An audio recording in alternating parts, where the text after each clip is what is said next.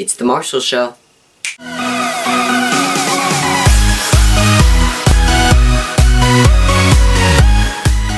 Hello everybody, it's Marshall, back with another video, and today I'm here on the topic of school. Most of you have probably already started school, and if you haven't already, you're probably going to be starting it very soon. So I just thought that I should share my tips and tricks for making school easier. Enjoy.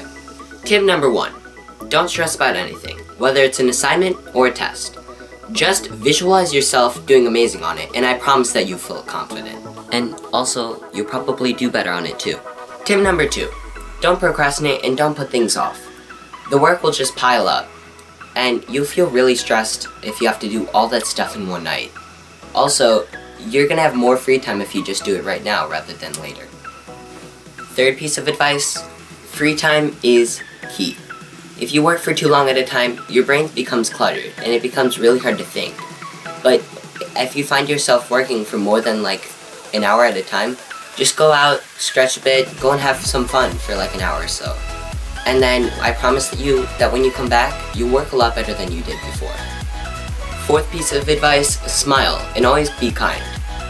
When you smile, you make yourself feel better, and also when people see you smiling, they also want to smile as well, and they in turn feel better. So by smiling, you make the world a better place. Also, when you're kind, all, Also, being kind is just the right thing to do, and you'll actually make a lot of friends that way. And I'm not just talking about being kind to your fellow students, but also be nice to your teachers too. These are the people that are deciding your future, and also, they're really nice people once you get to know them. Fifth and final tip is always be yourself.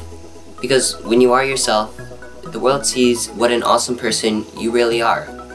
Because you are beautiful just the way you are. Never forget that. I wish the best of luck to all of you in school, and I know that you all are gonna do great. Don't let it go by too fast, and always remember to have fun. Also, huge shout out to Devo's videos. He actually gave me inspiration for not only this video, but also the last video, so thanks a ton to him. If you did enjoy this video, please leave a like down below, and comment down below some advice for me as I go off to school. Um, if you want to see more videos like this and more of me, please subscribe if you haven't already. As always, don't forget to enjoy life and have a great day.